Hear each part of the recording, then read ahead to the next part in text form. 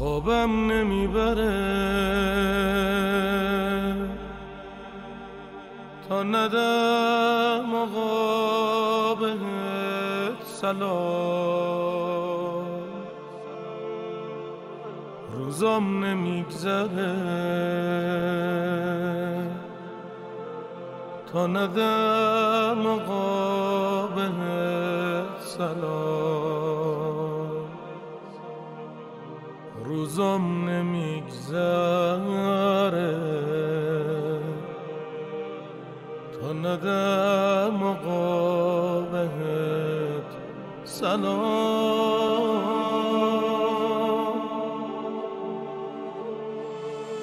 سلام. به تو دوای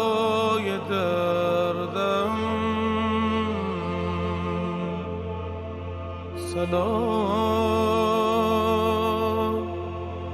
بذار دورت بگردم. سلام که من با تو کردم. سلام. به عطر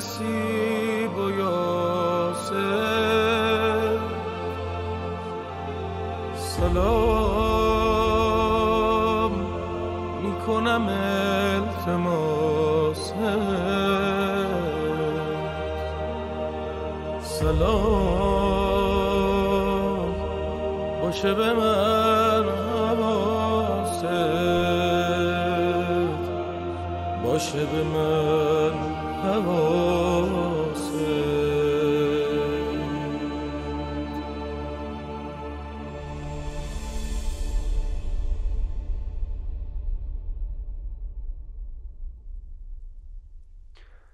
بسم الله الرحمن الرحیم. ای آینه دار پنج معصوم در بحر عفاف در مکتوم. پرورده دامن ولایت مظلومه خاندان مظلوم. شیرازه شرع از تو محکم منظومه عشق از تو منظوم. تو زینب دومی علی را. نامند گرت به ام کلثوم. آینه آفتاب و ماهی یا سیدتی به ما نگاهی. تو محنت بیشماره دیدی. غم بیشتر از ستاره دیدی. مهپاره دشت کربلا را در خاک هزار پاره دیدی. هم بر دل پاره پاره ات زهر هم پیکر پاره پاره دیدی. بر دست حسین غرق در خون قنداقه شیرخواره دیدی.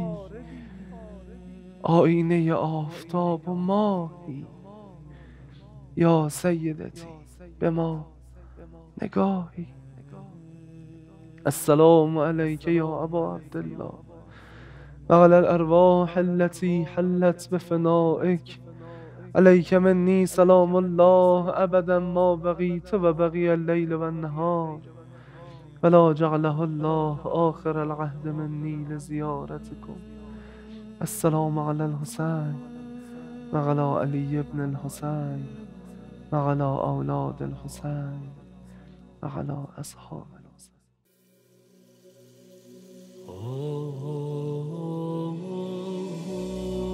لطف حسین ما را تنها نمی‌گذارد گر خلق واگذارد او وا نمی‌گذارد او کشتی نجات و کشتی شکست مایی مولا غلام خود را تنها نمیگذار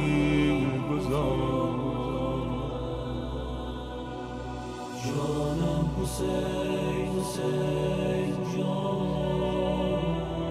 جانم حسین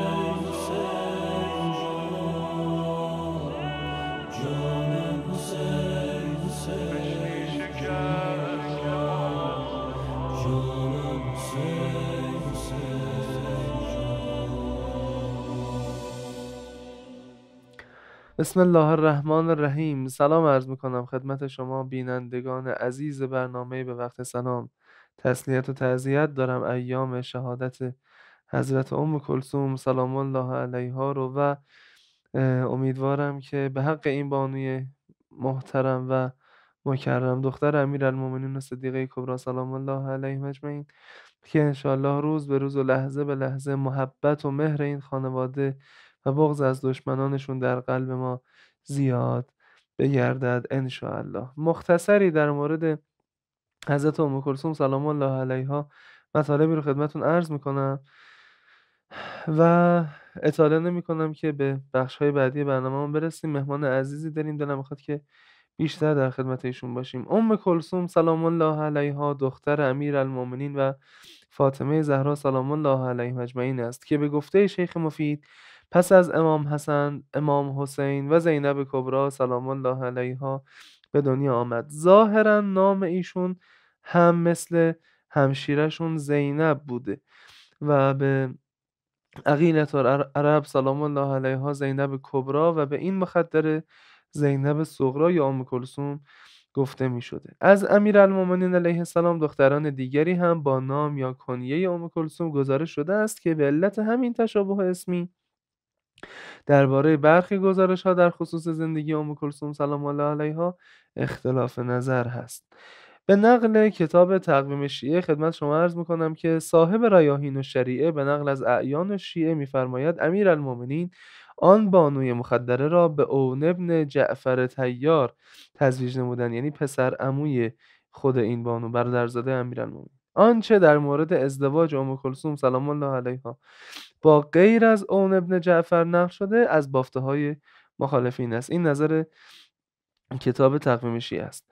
در مورد ازدواج حضرت ام کلثوم سلام الله علیها با خلیفه دوم اگر احیانا سوالی مد نظرتون هست یا شبهه‌ای در ذهن مبارکتون هست توصیه می‌کنم کتاب ازدواج امیر ازدواج ام کلثوم سلام الله علیها با عمر ابن خطاب رو که آقای علی آقای لباف زحمت نگارشش رو کشیدن و در 19 صفحه این موضوع رو بررسی کرده و تلاش کرده که جامع و کامل و خلاصه البته این موضوع رو اشاره بکنه. من از این موضوع رد میشه ام کلثوم از بانوان حاضر در واقعی کربلا شمرده شده است. آن حضرت در واقعی جانسوز کربلا حضور داشتند و بعد از شهادت سید الشهدا علیه السلام در کنار خواهرشان حضرت زینب علیه السلام از بانوان و یتیمان محافظت می نمود اشعار آن حضرت در فراق برادر در کربلا مشهور و جانسوز است.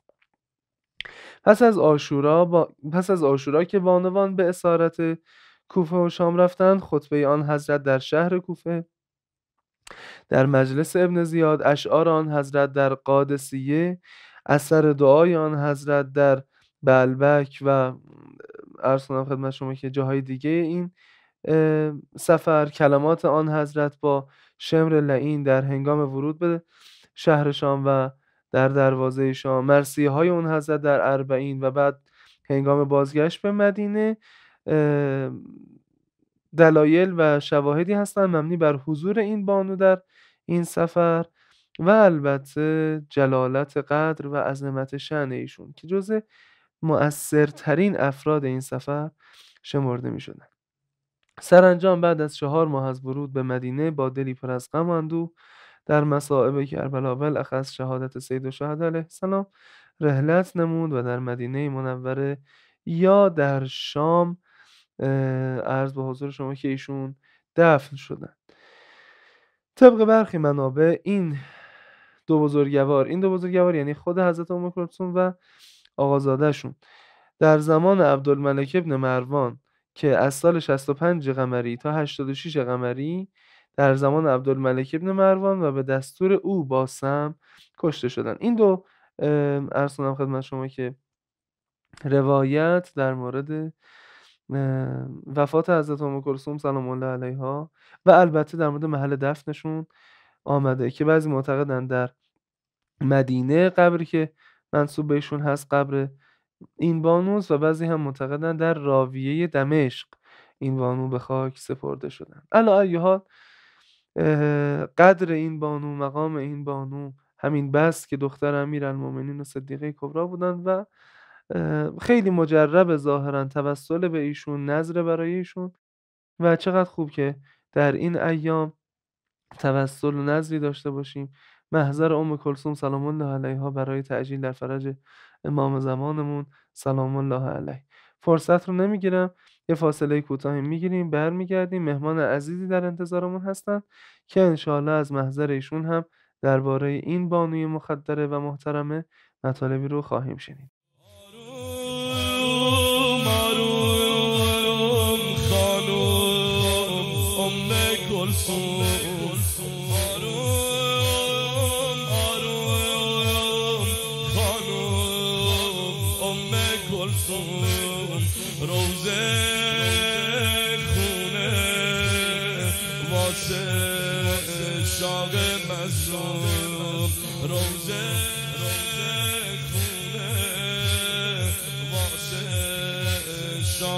مظلوم تو غربت مدینه. ذکر لبش همینه. ای بی کفن حسینم. دور از وطن حسینم. ای بی کفن حسینم. دور از وطن حسینم. ای بی کفن با بی بی ام کلسوم همه نوه خون بشن.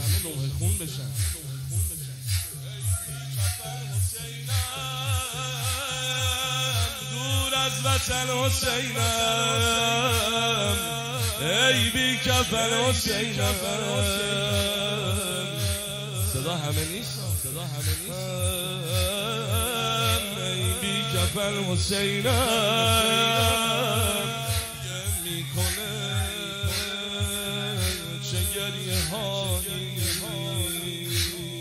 گریه می‌کنه. چه گریه هایی. از این غم جدایی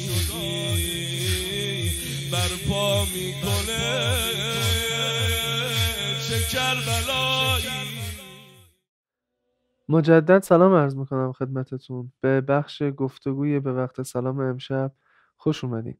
یک مهمان خیلی خاص و ویژه داریم. یکی از خوشقلمترین و باصفاترین شاعران اهل بیت علیهم السلام. امشب مهمان برنامه ما هستن که گفتگو باهاشون بسیار مختنم و ارزشمنده. خدمت آقای جمعآبادی عزیزمون هستیم. حاج مرتضی سلام عرض می‌کنم. سلام دارم شما خدمت اگر شما. سلامی دارین بفرمایید در خدمت. به همه دوستان عرض ادب و سلام دارم. به دستن در کاران برنامه بسیار زیبای وقت سلام عرض ادب و سلام دارم و ایام شهادت حضرت بیبی ام کلثوم علیها السلام رو تسلیت عرض می‌کنم. به همچنین ما هم خدمت شما سلامت باشید تسلیت عرض می‌کنیم. من ابتدا خیلی از شما ممنونم و تشکر می‌کنم که قبول زحمت کردیم. سعادتی بود در خدمت شما سلام. سعادت از آن ماست. حاج آقا مرتضی اگر از شما بپرسن شما اولین خاطرتون با امام حسین علیه السلام کجاست؟ چی میفرمایید بله. من بسیار کودک بودم. دچار بیماری زردی یرقان شدم. حدودا چهار پنج سالم بود. این بیماری منو تا مرز مرگ برد و یادمه که پدر مادر خیلی قصه میخوردن هر دو به رحمت خدا رفتن خدا روح رحمتشون هر دوشون شد. منو بسیار دکتر و دوا درمون. این بیماری ماها با من بود و یعنی مثلا حوالی سال 56 57 اون موقع؟ تازه مثلا آره دیگه نه آره همون موقع تقریبا. من یادمه که روز آشورایی بود. من راه افتادم تو دست زنجیر زنی. پدرم یه زنجیر برای عزای حضرت ابو عبدالله تو خونه همیشه داشت. اونو برداشتم. خیلی هم سنگین بود برام. کل روز و از صبح تا ظهر رفتم تو این دسته. موقعی که برگشتم مادرم یه بررسی کرد منو. دیدش که آثار بیماری دیگه در من نیست. آخه. اون زردی که تو صورتم و چشمام بود نیست. تب ندارم اشتهام باز شد و اینا. به دوستان و همسایه آشنا میگفتش که این پسر شفا داده امام حسین علیه السلام. من بچه بودم دقیقا یه خاطره نیمه روشنی از اون ایام دارم. ولی یادمی که اون بیماری که منو خیلی آزار می‌داد به برکت عزای حضرت سید الشهدا از وجود من رفت. یعنی شما تو موقع اصلا یه بچه بودین که خیلی دنبال شفا نبودی تو اون دسته نه نه. رفته بودم به همین عشق داری آره. عشق بچگی. آره. و این اولین چیزی بود که تو ذهنم از حضرت ابا عبدالله آخه. آره با- از اینجا شروع شد. گره خورد. بله. الحمدلله. ای خوشان لحظه که یاری به نگاری برسم. الحمدلله. و بعد چی شد که شما شاعر شدین خب شعر که یک موهبت خداداد طبع موزون خداوند به شکل مادرزاده. هر کس بده داده. شما معتقدین که اکتسابی نیست درسته؟ ادبیات آموختنش اکتسابیه. منتها طبع موزون رو من دارم عرض می‌کنم. گفتش که شاعری طبع روان می‌خواهد نه معانی نه بیان می‌خواهد. اشاره به این موضوع داره که این طبع موزون یک موهبت الهیه که به بعضی داده میشه. این موهبت از پر قنداق با هر کس باشه هست. خداوند به منم اینو این لطف و مرحمت کرد. ضمن اینکه محبت اهل بیت هم که در هر کس که حلال زاده باشه هست. این دوتا به هم گره خوردن و از همون کودکی من این داستان با من جریان داشت تا مثلا به سنین نوجوانی که رسیدم آغاز شد. شعر به شکل جدی. آقا مرتضی من می‌دونم که یه آدمی که هنرمند باشه هنرش رو حتی اگه در خونه اهل بیت علیهم السلام خرج بکنه عرض کنم که دلش می‌خواد که خلاصه جاهای دیگه هم باشه و توی حوزه های دیگه هم باشه و برای هنر دیگه. بله. از این هنرمند هنر میجوشه. بله. و می‌دونم که شما هم جز برای اهل بیت علیهم السلام طبعا شعر تو ذهنتون اومده و چه بسا هم نوشته باشین ولی هیچ وقت منتشرش نکرد. و خواستین که اگر شعری از شما به جا میمونه شعری باشه که در مدح خاندان اسمت و طهارت علیهم السلام باشه. سوال اینه که چرا؟ چون که من دقت کردم ببینم اهل بیت چه نوع شاعری مد نظرشونه. دیدم یه سری شعرا رو در تاریخ ادبیات عرب اینها نمره قبولی بهشون دادن اهل بیت علیهم السلام. مثل؟ مثل سید اسماعیل همیری مثل کمیت. مثل دعبل. بعد رفتم آثار اینا رو زندگی نامشون رو خوندم دیدم اینا نه تنها قلمشون بلکه جانشون و زندگیشون رو وقت به اهل بیت کرده بودن. و اونجا فهمیدم که وقتی اطلاق شاعر اهل بیت این سعادت نصیب کسی میشه فقط شعر نیست. شعر مقدمشه یعنی تو نه تنها باید فقط برای اهل بیت شعر بگی بلکه کل زندگیت هم باید در خدمت اهل. بیت باشی. و شاعری هم یکی از زیر مجموعه های نوکری اهل بیته یه کسی چایی میریزه کسی کف جفت می‌کنه یه کسی منبر میره کسی هم شعر میگه اینها همه زیر مجموعه های واژه نوکری هستن اگر به قبول به درجه قبول برسه انشاءالله. آقا مرتضی اینقدر صحبت کردن با شما شیرینه که سلامت آدم. همینجوری سوال تو ذهنش میاد. خواهش. شما فرمودین که من تو این موضوع مطالعه کردم. یه بخش از این مطالعه طبعا می‌خواستین دایره لغاتتون زیاد بشه طبعا به فهمش خودتون اون ادبیاتی که نیاز داره اکتساب کنید و خلاصه ازش استفاده کنید سوالم اینه که برای یه آدمی که شاعر نیست یه آدمی که رو- مرثیه خون نیست یه آدمی که شاید خیلی خروجی مثلا تو مجالس اهل بیت یا جاهای دیگه نداشته باشه. برای یه محب عادی یه کاسب یه کارمند یه آدم عادی جامعه مطالعه چقدر ضروری والا باز من از خودم حرفی نمیگم. از اهل بیت اسمت و تهارت در روایات زیادی داریم که ما رو تشویق کردن به سمت دانستن و نادانی رو منبع تمام شرارت ها دونستن نادانی خیلی چیز بدیه. حتما باید کسی که اهل بیت رو دوست داره زندگی نامه اینا رو بدونه. مرام و مشیشون رو بدونه. و اگر می‌خواد منصوب به اهل بیت باشه باید شبیه باشه به اینها. و اینها همه با خواندن آغاز میشه با دانستن آغاز میشه. پرسیدن با پرسیدن. بله. و اگر نادان باشه فقط نامی رو یدک می‌کشه. از محتوا دیگه خبری نیست. ارز کنم که یه سوالی ذهنم درگیر کرده. اونم این که تو زندگی خلاصه پستی بلندی کم نیست. شما می‌دونم که کارتون چیز دیگه بوده و شغلتون خلاصه چیز دیگه بوده و شعر برای شما منبع درآمد نبود تو پستی بلندی های زندگی تو اون نقطه ای که کارت به استخون می‌رسه به قول قدیمی ها شده که به امام حسین بگین که مثلا امام حسین یا مثلا حضرت زهرا من برای شما همه شعر گفتم. مثلا دست ما رو نمی‌گیرین. گلگی تا حالا کردین از اهل یه زمانی که اون آغاز نوجوان بودم و دچار مشکلات می من این حرفا زیاد می وقتی که به لطف خدا و اهل بیت این مقدار ما رو رشد دادن فهمیدم که اصلا نباید هیچ طلبی داشته باشم از اهل بیت. چرا؟ چون که اصلا ساحت اهل بیت ساحت طلب نیست. گرچه میشه طلبم داشت ازشون خواست. حاجتی عرضه کرد دنیایی اخروی. ولی این ساحت ساحت تماشاه باید تماشا بکنی و دم بر نیاری اینجا فرصت مقتنم همین که راهمون دادن اسم و ذکرشون رو گذاشتن تو قلب و زبان ما و ما داریم لذت می‌بریم و داریم رشد می‌کنیم باید خیلی هوشیار بود و این ساحت رو با چیزهای کوچک ملوث نکرد. حتی اگر اون چیز مثلا شفای بچت باشه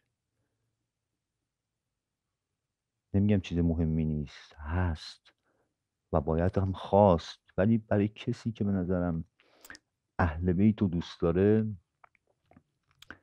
باید سینش رو آماج تیر بلا بکنه. کما اینکه خودشون اینطور بودن. خاطره ای داری؟ خب خاطره که زیاد دارم. من یه فرزندی خدا بهم داد. پسر دومم. این پسر دومم خیلی هم پسر نازنین و زیبایی بود. تو شیش ماهگی این دچار یه سانحه شد و به خاطر ضربه مغزی دنیا رفت. آره. ولی من این رو خیلی متاثر شدم گریه کردم قصه خوردم.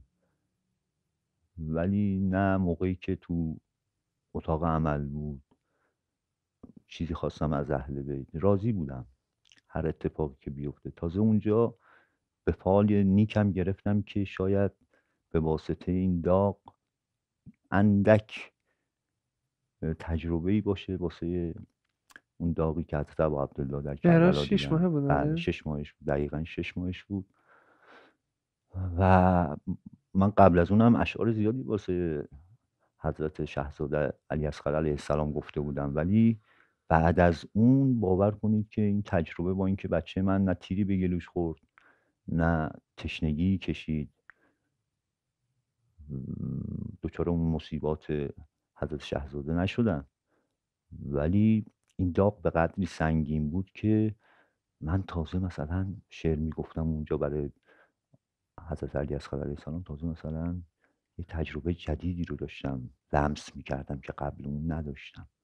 فهمیدم اونجا که هر چقدر ما شعرم که بگیم هنوز هیچی نگفتیم هنوز هیچی نفهمیدیم. و نمی‌دونیم چی شده. آره. یعنی ما واقعا نمی‌تونیم درک دقیقی داشته باشیم از آنچه که در آشورا اتفاق افتاده. از شعرهایی که بعد از معراج گفتین یکی دو بیتشو می‌خوایم برای حضرت علی اصغر یادتونه؟ یادتون که قطعا هست. یکی دو بیت بله تو یادم هست. من باید اون کتاب مشق عشق رو با خودم می آوردم نیاوردم. توی کانالم دارم می‌تونم از توی گوشی در بیارم. ولی یک بیتش آره همین که تو ذهنتون مونده. یک سر و گردن بلندتر ز علی بود. قامت تیری که بوسه زد به گلویش. بله. داستان از این قرار. قد تیر از قد تو بیشتر. را مرتضی حالمون رو بردین شب ششم محرم. ایشالله. که روزی بشه و توفیق عزاداری داشته باشیم. ایشالله که امسال با ظهور امام زمان رو در محضر حضرت انشاءالله آقا یه سوالی قبل از برنامه عرض کردم خدمتتون. بیادبی از محضر شما پرسیدن اما یه سوال سوالیه که خیلی چیزا رو معلوم می‌کنه و خلاصه یک دریچه‌ایه به یه سری از معارف. اون هم این که شده تا کسی توی خیابون توی کوچه این و تو هیئت هر جا. به شما بگی که حاج مرتضی اصلا به قیافت نمی‌خوره شوهر امام حسین باشی بله. خیلی اتفاق افتاده و دوستان تصوری در ذهنشون از شاعر جماعت هست که من اون شاخص ها رو ندارم. و اهمیتی هم برام نداره چون که اصل موضوع اصلا این نیستش که شما ظاهر آرایی کنی. و خیلی از شعرهای دیگه هم بودن علمای دیگه هم بودن که این ظاهر رو نداشتن. و این فضا برای فضای همین سالهای اخیره که دوربین اومده در کار و همه دوست دارن تصوری که از شاعر دارن یک تصور فانتزی باشه یک تصور نمایشی باشه و اون تصور با تصدیق جور در بیاد. من اینطور نبودم و برام هم اهمیتی نداشت. کلا حرف مردم باید برای آدم مهم باشه؟ حرف مردم بستگی داره که شما در چه موقعیتی باشید. اگر منصوب به اهل بیت هستید شما باید ظاهر رو رعایت کنید آه. صد درصد. آبرو اهل بیتونه بله صد درصد باید ظاهر مهمه. ظاهر رو رعایت کرد.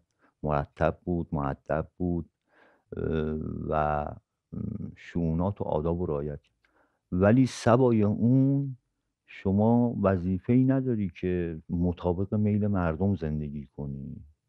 این سفارشی نیست که به ما شده. شما باید مطابق دستورات خدا اهل بیت زندگی بکنی. شاید یک زمانی فقر گریبانگیر آدم بشه. خب این یه امتحانیه. به خاطر اینکه مردم حرف در نیارن واسه آدم آدم بره مثلا دست به سری کارهای احمقانه بزنه که خودش رو پولدار جلوه بده. این جالب نیست. می‌فهمم. یه سوال می‌خوام بپرسم توی فضای غیر مرتبط اونم این که می‌دونیم که الحمدلله ابوالفضل جانمون توی مسیر سید الشهداست و در مسیر نوکری اهل بیت علیهم السلام هست. و قطعا این مرهون زحمات شما و مادرش اه، عرض به حضور شما که می‌خوام بپرسم که از طرف یک پدری یا از طرف یک مادری که او هم دغدغه خلاص آقایت به خیری بچهش رو داره. حاج آقای جام آبادی بفرمایید که من باید چیکار کنم که بچه‌م امام حسینی بشه؟ شما لقمه حلال باید به بچه. بیشتر کار رو همین پیش می‌بره. لقمه حلال خیلی مهمه. شما این کار رو انجام بده ایشالله که بقیهش درست میشه. کار زیادی از ما نخواست اینطوری بپرسم. چه کارایی نباید بکنم؟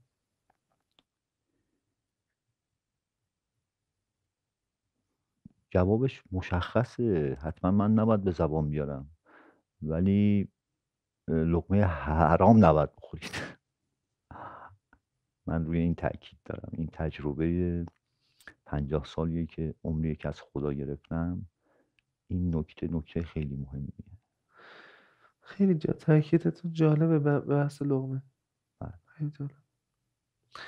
انشالله که توفیق و همتش رو بده یعنی. که آدم بره دنبال این فضا. آقا اینقدر حرف زدن با شما برامون شیرینه که اصلا از اصل کار یادمون رفت. شما. برای حضرت ام کلثوم سلام الله علیها شعر گفتی. بله من به چند باری تب آزمایی کردم و این دفعه که برنامه بودم دعوت شدم به برنامه عزیز به وقت سلام. سلامت انقدر ارادت دارم به حضرت ام کلثوم سلام الله علیها. که دلم نیومد اون اشعار قبلی رو بیارم اینجا بخونم. م، پریشب تا صبح نشستم و یه قصیده در مدح و منقبت بیبی سرودم خدا الله سلامت باشید مهمونمون می‌کنی؟ بله صد درصد.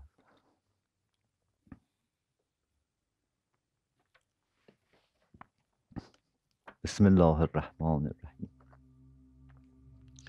هر که خواهد قصه ای از شاه مظلوم آورد. نام زینب را کنار ام کلثوم آورد. از ادب بر نام خواهر خویش را گمنام خواست تا جهان کمتر سخن زان راز مکتوم آورد. سر به محمل مثل زینب بشکند. بهر حسین چون نظر بر حلق آن ببریده حلقوم آورد. من که باشم تا شوم مداح او زیرا به لب مدحت معصوم را باید که معصوم آورد. آسمان گر آورد منظومه شمسی کم است. آنکه در مدحش ملک دیوان منظوم آورد. دختر شیر خدا از مدح ما مستغنی است. وحی باید جبرئیل از ذات قیوم آورد. غم درون قلب عالم می کند محشر به پا. روزخوان گر ذکری از آن قلب مغموم آورد. خازن باغ جنان بعد از طواف قبر او. یک بغل نیلوفر از آن جسم مصدوم آورد. گر گدایی دست خالی رو کند بر درگهش حاش لله گر از آن در دست محروم آورد. دختر شاه نجف مشکل گشای عالم است. زان چنان آقا خدا این گونه خانوم آورد. تا جبین بر درگهش سایند دست روزگار آورد کسری از ایران قیصر از روم آورد. خواهر خون خدا باشد که در دیر الصلیب روح راهب را به توحید از سه اقنوم آورد. حکم اگر راند فلک صد زاده مرجانه را پیش او از پشت پیچد دست و محکوم آورد کی اسیر آهن زنجیر باشد آنکه او سنگ خارا را درون مشت خود موم آورد. معجز عیسی کند در مجلس دل مردگان گر صبا بویی از آن انفاس محموم آورد. حیدر کرار را زیور که مثل خواهرش گر علی باشد امام این گونه مأموم آورد احمد مختار را دختر که در بزم یزید سر به زیر اختیارش جبر محتوم آورد زاده آزاده زهرا که تیغ خطبش در شام بر آن دشمن شوم آورد گوهر از اسلاب شامخ دارد و ارحام پاک این ثمر کی باغبان از شاخ مسموم آورد. هر کسی طوبی نشاند طیبات آرد به بار. هر کسی حنظل بکارد میوه زقوم آورد. مریم از بهر شفاعت باید اول روز حشر دست او بوسیده و زان دست مرقوم. آورد. نیز هاجر تا رود فردوس می باید نخست نامه ای از خاتم آن دست مختوم آورد. شکر ایزد شد سنایش روزی طبع یتیم حضرت روح الامین این رزق مقسوم آورد. الحمدلله. الحمدلله خدا بهتون سلامتی بده. سلامت باشید یتیم تخلص شما بله؟ بله. تخلص حقیر یتیم هست. قصه داره؟ قصهش از این قراری که من خیلی ارادت داشتم به جناب شاعر مرحوم معاصر جناب آقای عابد تبریزی. بله. در کتابی دیدم که پدر بزرگوار ایشون به نام جناب مولانا یتیم تخلصشون یتیم بوده و اشعار بسیار دلکشی در مدح و مرسی اهل بیت داشتن. مخصوصا یه مخمسی دارن برای حضرت علی اکبر علیه السلام. مهر و محبت ایشون خیلی بر دلم جای گرفت و محکم شد و تصمیم گرفتم تخلص ایشون تخلص رو به وام بگیرم. آره. یتیم. یتیم. عالی بود عالی بود. خصوصا آره. اون بیتی که گفتین. حضرت مریم برای شفاعت بله. بعد بیاد خدمت خ- عالی بود. عالی بود. بله. سلامت خدا لکی به شما سلامتی بده به قلمتون برکت بده. حاج آقای جام آبادی ما توی برنامهمون علالقاعده وقتی که گفتگو می‌کنیم که یک شاعر اهل بیت علیهم السلام مهمان ماست علالقاعده بخشی از مخاطبین ما شاعرها هستن. یا رفقای جوانتر ما که می‌خوان وارد وادی شعر بشن. سوال اینجاست که یک شاعر چه چیزایی رو باید رعایت بکنه و چه کارهایی رو نباید انجام بده؟ من جواب این سوالتون رو اگر بخوام دقیق بگم اینه که اگر شاعری که صاحب طبع موزونه و علاقمنده به اینکه شعر بگه واسه اهل بیت اهم از مدح و مرسیه حتما هم در آغاز هم در عواسط هم تا آخر در کنار یک استاد قرار بگیره این استاد واسه بچه خصوصیتی آره این استاد فقط استاد شعر نیست. استادیه که از عقاید اهل بیت عقاید خالص و پاک و یک دست اهل بیت اطلاع داره. قرآن رو مسلطه کتب شیعه رو مسلطه تاریخ و مقتل رو خونده و می‌دونه. ظرایف و نکته ها رو می‌دونه. یعنی هم آین شعر رو می‌دونه هم آین آین رو.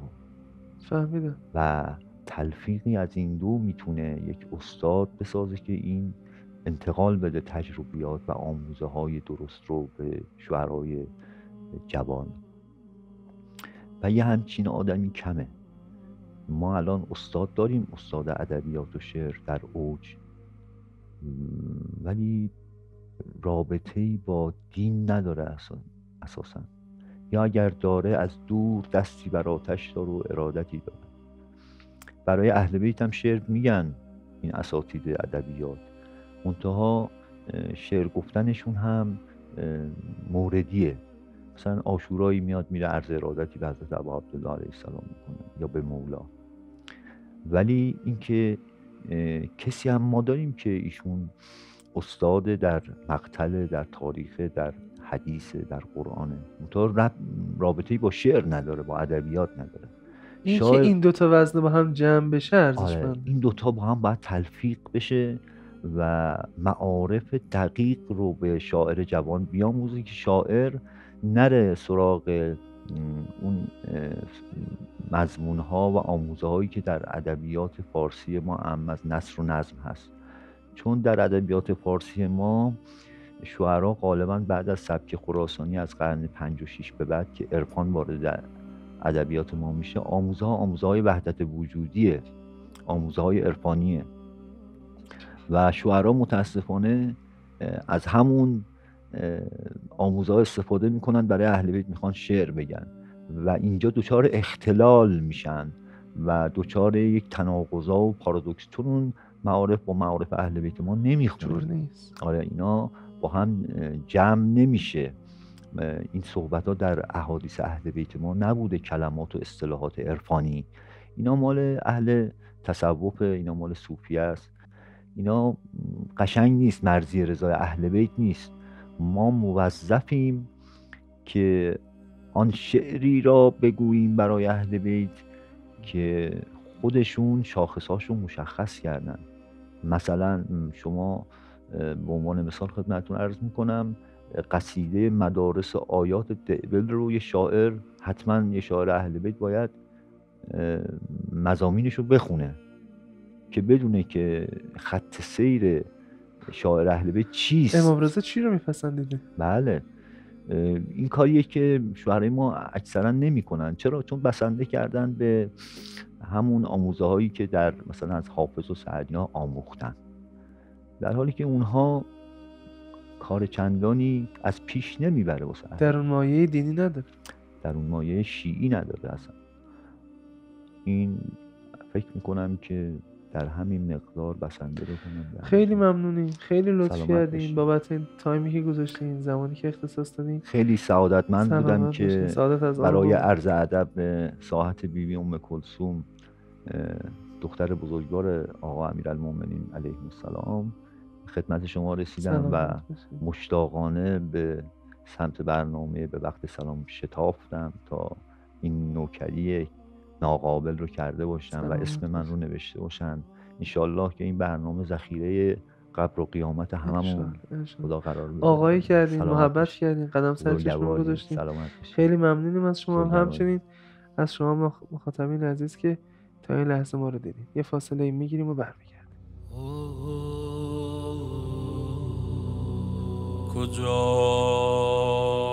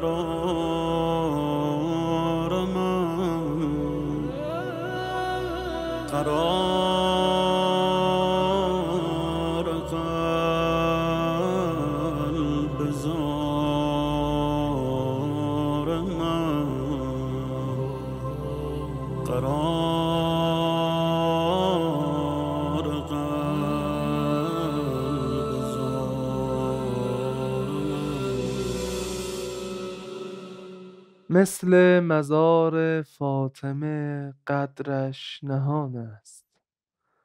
توصیف او مافوق توضیح و بیان است. خود را دخیل رشته های چادرش کن. او عمه مظلومه صاحب زمان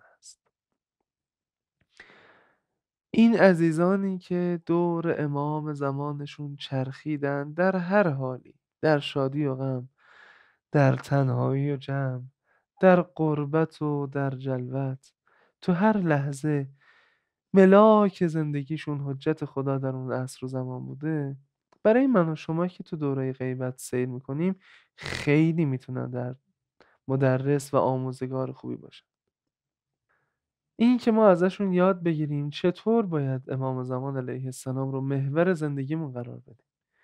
این که ازشون یاد بگیریم فداکاری و جاننساری در راه حجت ابن الحسن حد نداره و هر چقدر هم که از زندگیت براش مایه بذاری باز هم بهش بدهکاری. یاد گرفتن این موضوعات از یک کسی مثل حضرت ام کلثوم سلام الله علیها خیلی لذت بخشه. چون این بانو همه زندگیش رو برای حجت خدا گذاشته. چون این بانو همه زندگیش دنبال حجت خدا دویده گرچه که او برادرش بوده. می‌خوام بگم امشب بیاین از حضرت ام کلثوم بخوایم که بیبی جان به حرمت این لباس مشکی که در ازای شما بتن کردیم شما به ما یاد بدین که ما چطور باید شیعه امام زمانمون باشیم ما چطور باید برای امام زمانمون جان فشانی کنیم. ما چطور باید از همه چیز و همه کسمون برای حجت خدا بگذاریم و کار به دست شما برمیاد عوض کردن این دل از شمایی که دختر فاطمه زهرا هستی برمیاد که با من کاری کنی که من بشم همونی که امام زمان علیه السلام می‌خواد. خدا رو در این ایام به مقام حجت ابن الحسن به مقام ام جانشون حضرت ام کلثوم سلام الله علیه ما قسم می‌دهیم که خدایا اولا فرجشون رو بر ما برسان و ثانیا چه در این غیبت و چه در ظهورشون اسم ما رو جزو لیست خدمتگزاران رسمی خدمتگزارانی که از هیچ چیز و هیچ کسشون در راه حجت ابن الحسن دریغ ندارن ثبت و ضبط بفرما و به ما راه و رسم مهدوی زندگی کردن رو بیاموز. الهی آمین.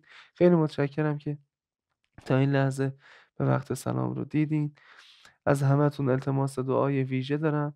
برای ما و همکارانمون دعا کنین که انشالله بتونیم بهتر خدمت گذاری کنیم. خدا به همراهتون. تا به وقت سلام دیگه خدا یار و نگهدار.